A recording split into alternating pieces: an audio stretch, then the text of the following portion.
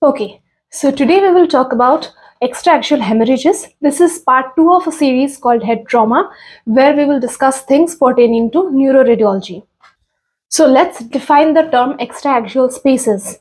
These extraaxial spaces are locations outside the brain parenchyma. Bleeding within these extraaxial spaces outside the brain parenchyma is known as extraaxial hemorrhage. Now these extraaxial spaces do not always exist all the time. Majority of them are just potential spaces. They exist only when there is some collection and the subarachnoid space is the only extraaxial space which is an actual space which is present always because it contains the CSF. So let's discuss the layers of the brain from outside to inside. Outermost we have the calvaria. In the calvaria the outer table, the inner table. Then we have the three layers of meninges, the dura outside, then the arachnoid, and then the pia mater. The dura itself has two layers, the outside periosteal layer, the inner meningeal layer. Any collection above the most superficial layer of the dura that is above the periosteal layer and below the inner table of the calvaria that is the epidural space. Anything below the dura that is below the meningeal layer of the dura and above the arachnoid that is the subdural space. And below the arachnoid is the subarachnoid space. Let's start with epidural hematomas. These as we all know occur when there is bleeding between the inner table of the calvaria and the periosteal layer of the dura. 90% of the times the source of this bleeding is an arterial source which is the most common artery that is implicated here that is a branch of the maxillary artery which is in turn a branch of the external carotid artery and is in close relation with a very thin part of the skull called the pterion which is a junction of the frontal, sphenoidal, parietal and squamosal part of the temporal bone and is very susceptible to fracture. Yes, it is the middle meningeal artery. Okay, now as I told you, 90% of the bleed in an epidural hematoma comes from an artery, which is the middle meningeal artery. Their shape has been classically described as this biconvex or lens-shaped because the periosteal layer of the dura is very tightly adhered to the inner table of the calvaria and they get stripped as the EDH expands.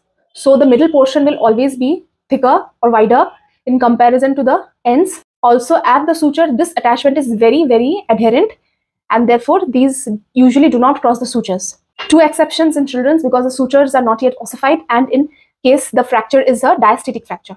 Let's talk about the imaging features. What we can see in this axial non-contrast CT, it demonstrates this biconvex hyperdense hematoma in the left parietal region and we can clearly see this subgaleal hematoma overlying the EDH.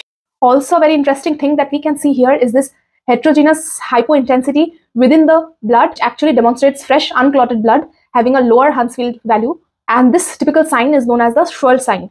What we can also see is the EDH pushes the cortex medially and what we can see is buckling of the gray-white interface. Now, very important danger signs to look for in an EDH is number one, if the thickness of the hemorrhage becomes more than 1.5 centimeters, the volume of the hematoma becomes more than 30 mm, midline shift more than 5 mm, and there is this swirl sign. Whenever these signs are present, we should be on high alert mode because these patients can require surgical intervention. Now, I told you that 90% of the EDHs, their source of blood is an artery. Therefore, the rest 10% is a venous bleeding. Let's talk about venous EDHs. What happens here is a skull fracture that crosses a dural venous sinus. There is tearing of the dural layer and accumulation of this blood from the dural sinus into the epidural space. Now, these venous EDHs are very difficult to diagnose because they are very subtle and slow growing both clinically as well as imaging wise. Let's discuss the three very important venous types of EDHs. The first one is a vertex EDH. Here we can see a hyperdense biconvex hematoma at the region of the vertex. Here the fracture causes injury to the superior sagittal sinus which is the source of the bleeding. And this vertex EDH can cross the midline as we can see in this image also. The second is a anterior temporal EDH. Here the sinus involved in the bleeding is the sphenoparietal venous sinus there is this biconvex hyperdense collection in the anterior tip of the middle cranial fossa. However, these EDHs are limited medially by the orbital fissure and laterally by the sphenotemporal suture. The third one is a clival EDH, which is very subtle. There is a collection under the clival dura, usually seen in children following a neck injury, which is usually a hyperflexion or a hyperextension injury. These are limited by the attachment of the dura to the basisphenoid and also the tectorial membrane. And very important thing to remember is in these types of clival EDH, there can be multiple cranioneuropathies. Most commonly involved cranial nerve is the sixth nerve, followed by ninth, followed by eleventh. Let's move over to the subdural hematomas. We already know whenever there is collection of blood below the dura, that is below the meningeal layer of the dura and above the arachnoid, it is a subdural hematoma. And the source of the bleeding is usually tearing of the bridging cortical veins as they cross the subdural space to enter into the dural venous sinuses. And more often than not, it is a superior sagittal sinus that is involved. Now let's move on to the CT imaging findings of a subdural hematoma.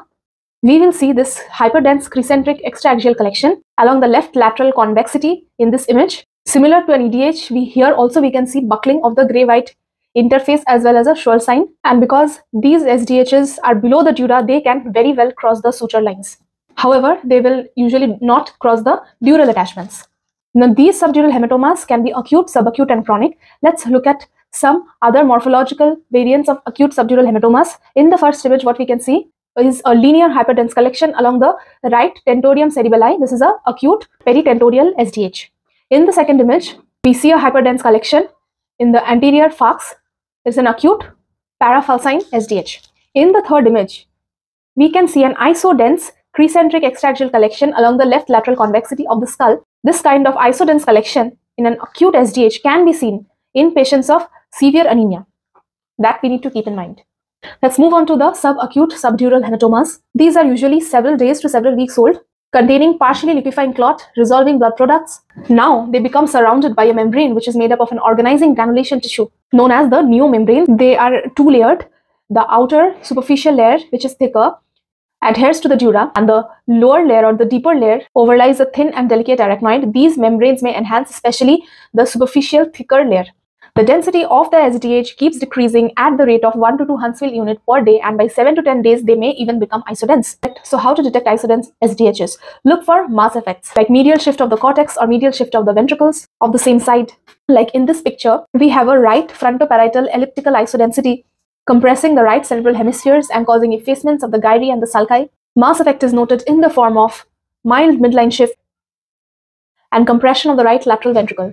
Now, with continued degradation of the blood products, the SDH becomes more liquefied and it is now a chronic SDH. The collection now is a large serous fluid tinged with blood products. These are also encapsulated by the membranes that we had talked about, and there can be rehemorrhage in these cases, and we call it a acute on chronic SDH. Now, what do we see in this picture is a hypodense crescentric fluid collection along the right lateral convexity. What other things we can be seeing in a chronic SDH is the presence of hematocrit effect, which we will discuss later on, presence of loculations and trabeculations, thickened membranes. These membranes can become thickened, which appears to be hyperdense. They can even calcify or ossify. Let's look at these three pictures of chronic SDH. The first picture shows hypodense crescentric collections, bilateral lateral convexities. This is a bilateral chronic SDH. In the second picture, we see on the left lateral convexity, there is this hypodense collections with multiple loculations. This is also a chronic SDH with loculations. In the third picture, we again see this chronic SDH on the left lateral convexity, but this time the encapsulated membranes appear hyperdense. In fact, they are ossified right now and this is called a armored brain. In the next picture, we see an extraaxial crescentric collection in the right lateral convexity having this showing this hematocrit effect. This occurs when there are two different density blood products. Now, depending on the amount of cellular components, the heavier blood product settles down and the lighter one is above. Like here, the more denser portion is the newly hemorrhaged blood, which has more cellular components, more dense, and it has settled down, and the older component is seen above. This is the hematocrit sign seen in acute and chronic SDH. Now, we need to differentiate these chronic SDHs from three things a subdural hygroma, subdural effusion, and subdural empyema, which might look similar on CT, similar hypodense collections, extraaxial. First is a subdural hygroma. Here there is CSF collection in the subdural space after an injury. It has CSF density. It will show this hypodense crescentric extraaxial collection. No blood products, no encapsulating membranes, and therefore no enhancement following contrast administration. And this collection usually communicates with the CSF spaces. However, a significant number of collections diagnosed as chronic subdural hematomas actually represent chronic subdural hygromas because CT is very difficult to differentiate. MR might help. Subdural effusion is accumulation of clear fluid over the cerebral convexities or interhemispheric fissures, usually a complication of a prior episode of meningitis. Effusions, a very big difference is they do not usually communicate with the CSF spaces. Subdural empyema is a collection of pus in the subdural space, usually secondary to an ongoing mastoiditis, sinusitis, or even a meningitis. We can see a hypodense extraaxial collection in the subdural space, having new membranes too, which shows strong enhancement. The last is subarachnoid hemorrhage, as we all know, This is accumulation of blood products below the arachnoid, that is between the arachnoid and the pia mater, and this is an actual extraaxial space because it contains CSF.